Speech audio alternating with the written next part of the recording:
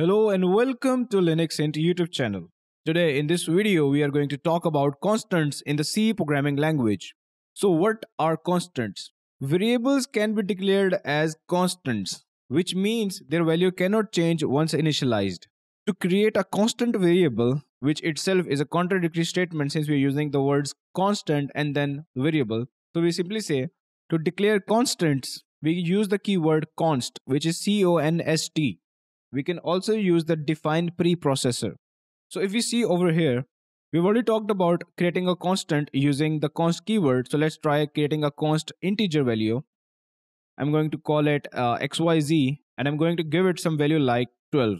These const values work exactly like normal variables, which means that I can use them in different functions or places where they're required. For example, if I tried to print out this value, I would simply use the normal printf function and say something like the value of the constant is as and since this was an integer value i'm going to use percentage d and then i'm going to say xyz so if i run this code the constant works just like a normal variable. So what is the difference? The difference comes when i try changing the value of the constant. If i say something like xyz is now 13 first up you can see the squiggly lines. Now i'm using an extension which is the IntelliSense which is telling me that you are trying to change a constant value, this will not uh, let the program to compile. So let's ignore this IntelliSense and let's try executing the program and we will see the actual cause of this error. Let me bring this up.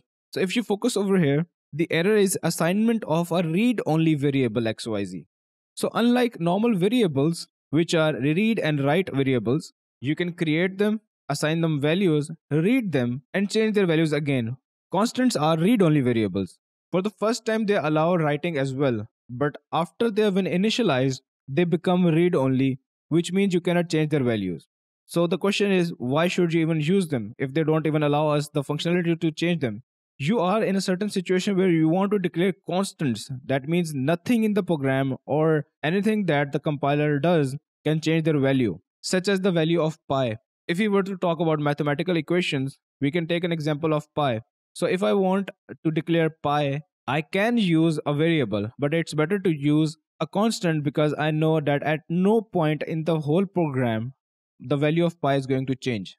So if I create a constant float and I'm going to name it pi and I'm going to use the value 3.1415, let's try using this value of pi to calculate the area of a circle.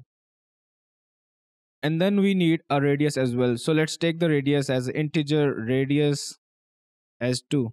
So let's calculate this float area. As you can see, I wrote a very basic program for calculating the area of a circle whose radius is 2. So if I run this program, it would give me the output which is 12.566.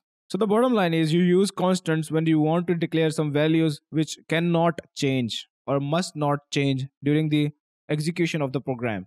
Another way of creating constant is by using the define preprocessor. Now we know what a preprocessor is. If not, then these statements that you write at the beginning of the program with the hashtag are known as preprocessors. So for this, I'll use the preprocessor define.